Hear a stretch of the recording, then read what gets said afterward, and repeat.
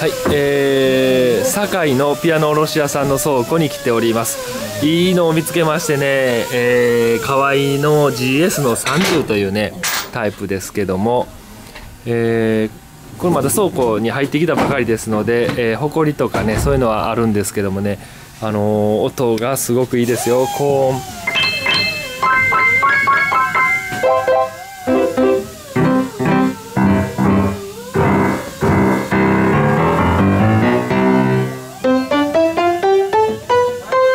ね。すごく音伸びますしね。